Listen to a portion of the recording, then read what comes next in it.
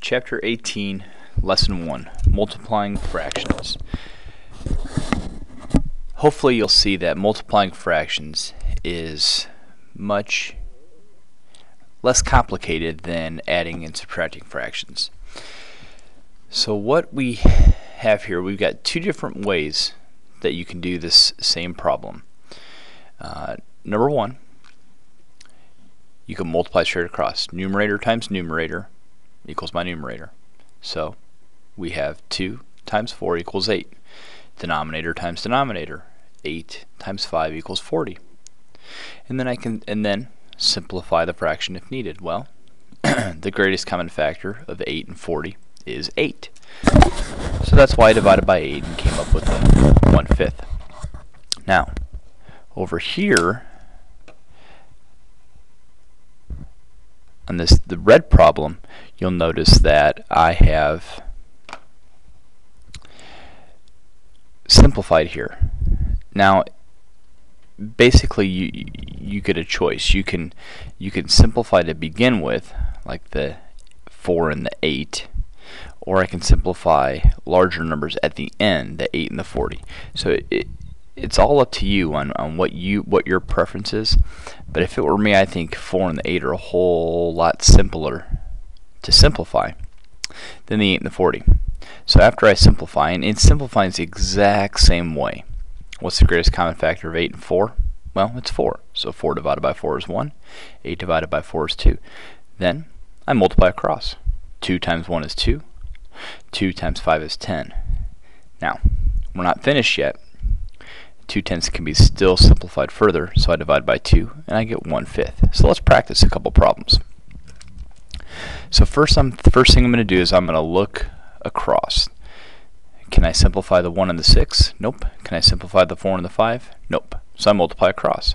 Five, 1 times 5 is 5, and 4 times 6 is 24. Can I simplify those two fractions? Or can I simplify that fraction? No, I can't because the greatest common factor is 1. So let's look across here. I've got 2 and 7. Can't do that because the greatest common factor is 1. How about 3 and 9? You're right, I can. I can divide by 3. 3 divided by 3 is 1. 3 divided by 9 is 3. So then I multiply across. 1 times 2 is 2. 7 times 3 is 21. So give the video a pause, and then you try. So here's what we have. I cannot cross simplify. I have the 3 and the 5 because the greatest common factor is 1. 5 and 3, greatest common factor is 1.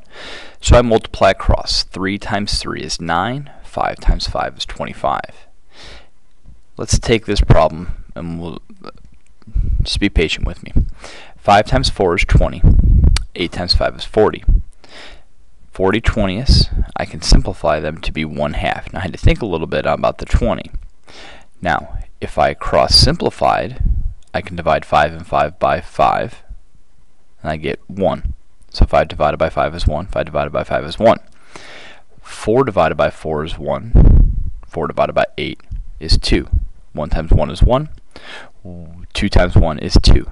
So you see the difference in not simplifying or simplifying first and then simplifying second? I hope you do.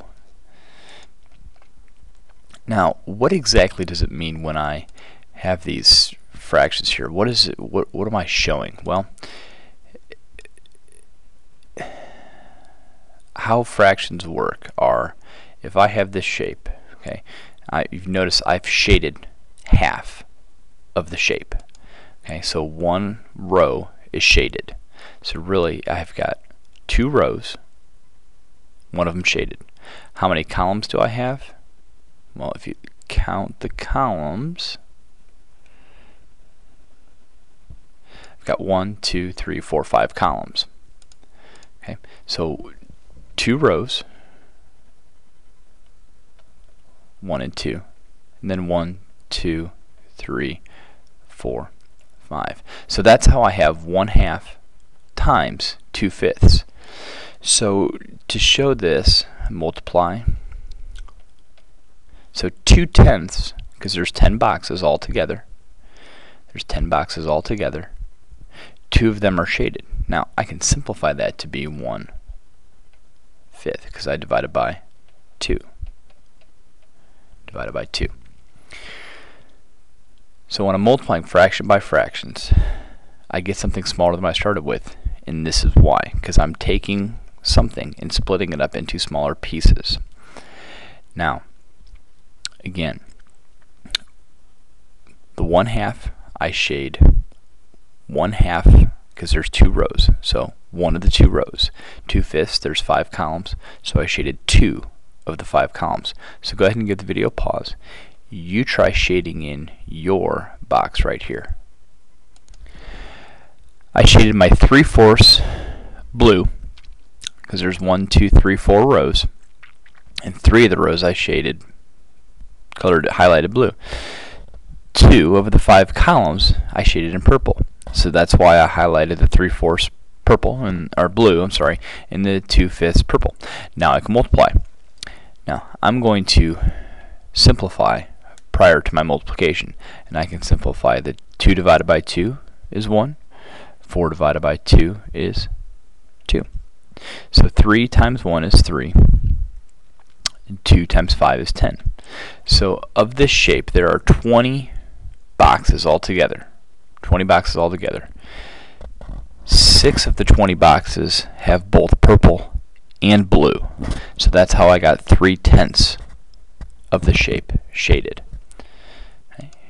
Here's your bell work, and good luck.